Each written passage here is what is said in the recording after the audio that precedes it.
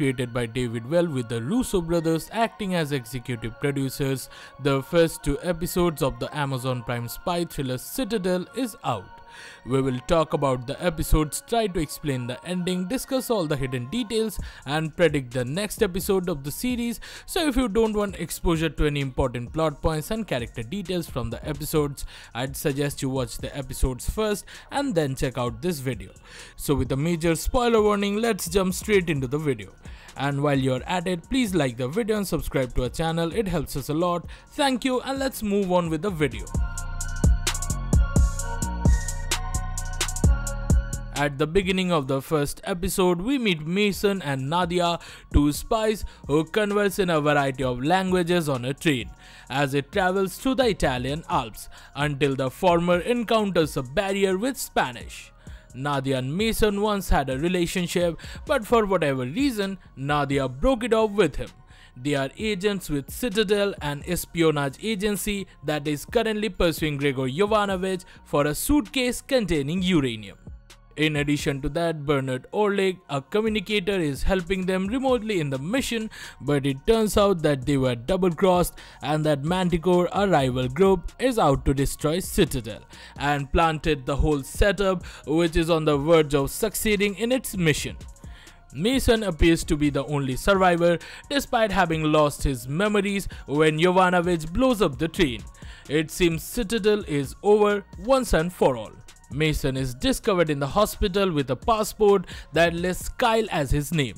However, nobody in the hospital has been able to locate his family or any sign of him as it is a fake ID, but Mason is unaware of this because his memory has been lost.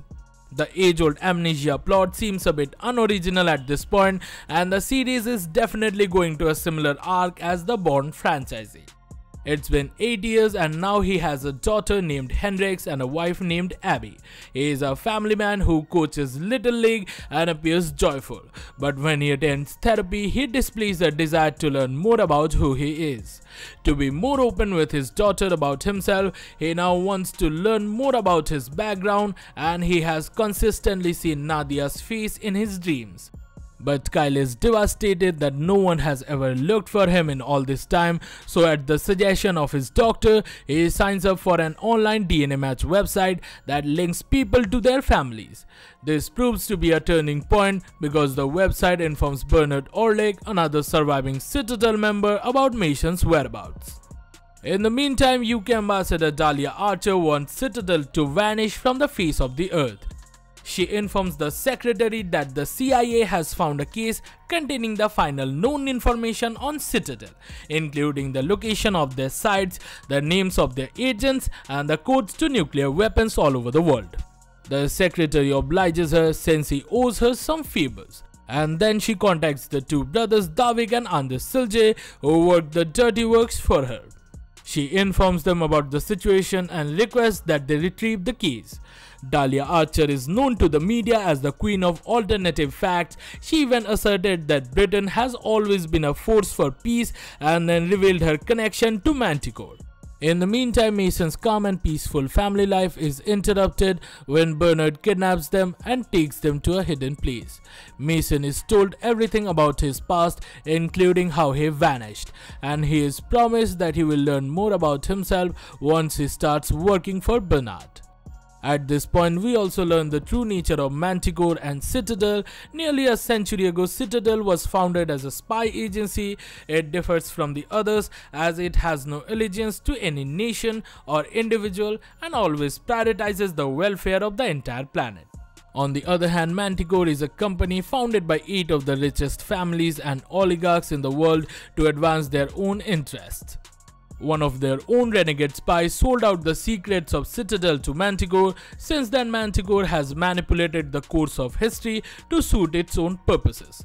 They are currently searching for the nuclear codes that will come into their possession once the Silje brothers arrive in New York.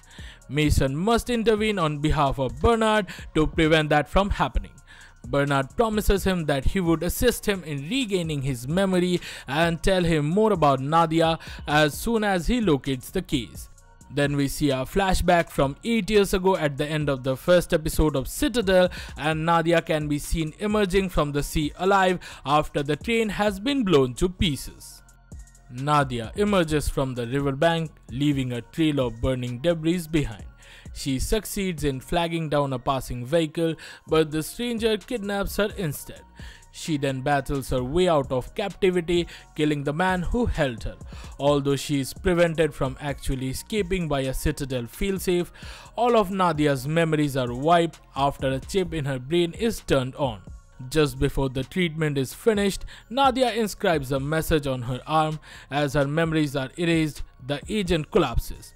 When Nadia opens her eyes, she discovers a dead body, her passport, and that important message written on her arm which says go to Valencia Asha, which does not make any sense and was not cleared in the episode.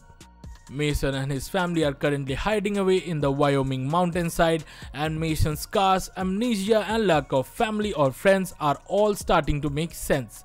But his wife Abby is still skeptical. Mason and Bernard then travel to Manticore's secret lab in New York City. While the Citadel agents are setting up their line of attack, the Silje brothers are occupied with unlocking the case's log. Mason now has full access to the building thanks to Bernard's hacking of Manticore's server. As the Manticore agents attack the intruder, the amnesiac agent breaks into the structure and reactivates his dormant spy abilities. Mason manages to grab the case and go, but the brothers identify him before he can leave. The brothers tell Dahlia about this incident and she issues a command to the brothers to deliver Mason and the case both. Bernard helps Mason to unlock the case and they find vials inside containing the memories of every agent of Citadel.